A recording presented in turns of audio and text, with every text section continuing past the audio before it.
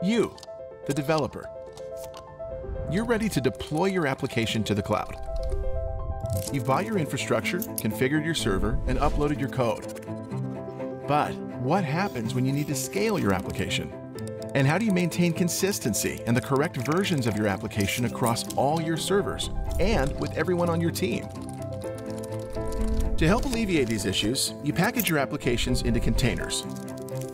Better, but networks still need built, infrastructure needs maintained, and deployment pipelines need configured, and your developers are completely overwhelmed.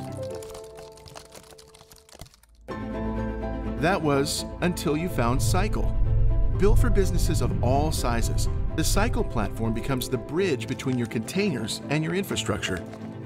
With its software as a service approach to infrastructure management, any servers deployed through Cycle will automatically receive all platform updates. From the start, Cycle has been developed with a focus on simplicity without compromise.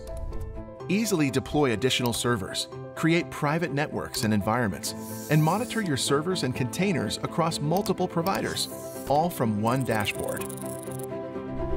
In a world where chaos is likely to happen, Cycle delivers the tools and automation required for you to focus on your core offerings. Empower developers to do what they do best. Leave the rest to Cycle